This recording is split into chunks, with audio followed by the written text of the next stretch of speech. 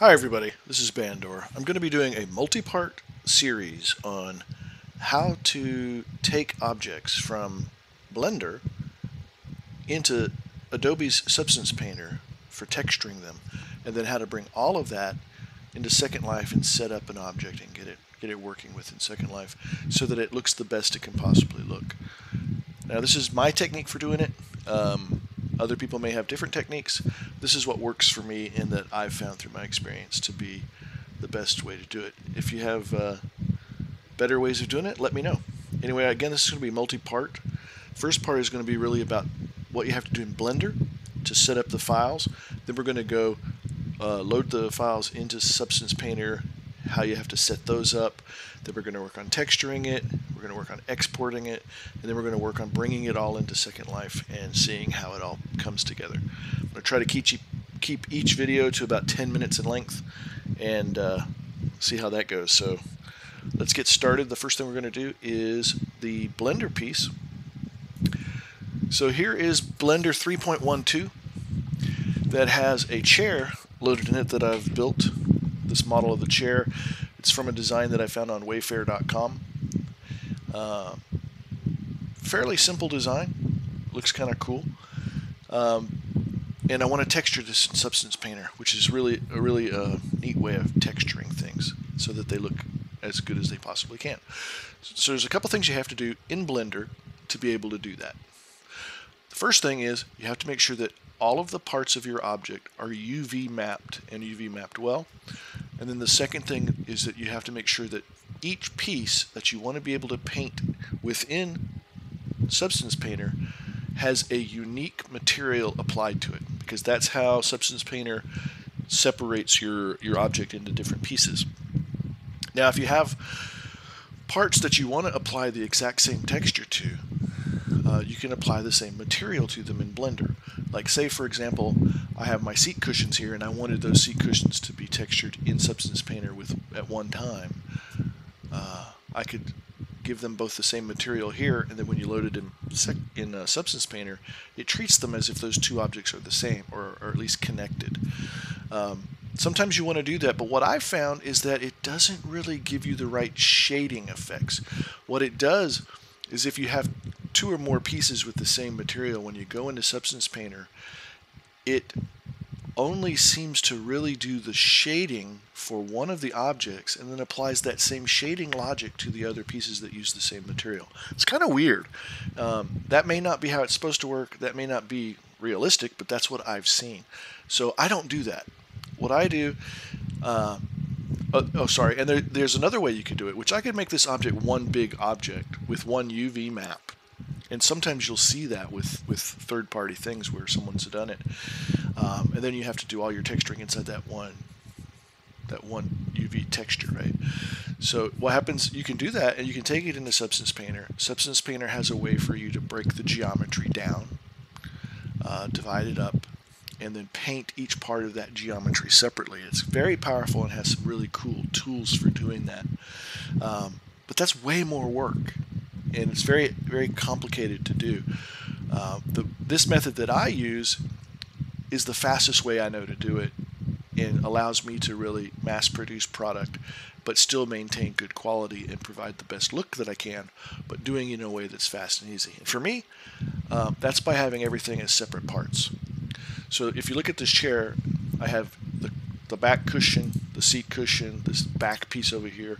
Each part of the arm is a separate object, and I, I, don't even have them linked together. It's just it's just there. Um, but what I have done is for each part in the material tab, you'll notice that there's a different material, and I name the material for what I want the part to be called. And that's going to be what the part for those textures is called all the way into Second Life because we're going to use the names that Substance Painter generates for those files so we can tell them apart. So I know the texture that goes on the back cushion is named back cushion. The textures that are going to go on the seat cushion, I'm going to name seat cushion. So for each part, you create a new material and then you're going to set the name for that material. So how I did that, you click on the part that you want, you come over to your material tab, and then you simply, uh, there's a new button If you don't have one already, you just click the new and you give it a name. I've already done that on all of these. So this one's called back cushion. This one's called seat cushion. That's called back. And then I have different parts for the arms. And I have a left and a right version of it. So this is right arm, left arm, right legs, left legs, right slats, left slats. There's a right side, left side, etc. And that's how I've named all of the things in my materials. I also applied colors to some of the materials and then I realized, ah, you don't need to do that because you don't even see the colors here unless you go to one of your material views. And you can kind of, ooh, that's gaudy as all get out. So there you go. You can see the colors are applied. And that's helpful if you want to differentiate things, but it's really not necessary. So you don't need to do that. You don't need to do anything with the materials at all in Blender except name them. That's really all you have to do is just, just name the materials and have one material for each part, including the floor shadow, which I call shadow. Okay, that's the first part. It's naming all the materials. Second thing is each one has to have a UV map. So if you go into the UV editor you pull up the uh, turn on transparency and then you select everything, you can see the UV map over on the left side. Do the same thing for the, the other parts. You pick the part, you go into edit mode, select everything with transparency on, and you can see the UV map for the cushions. Um, I've gone through and UV mapped every single part, and they all have very, very clean UV maps. So again, that's that's what you uh, that's the only thing you have to do for your models to be ready to go over to uh, Substance Painter. UV maps on all the parts and unique named materials for each part that you want to texture separately. Then when you're ready, you just go in and select everything on your model.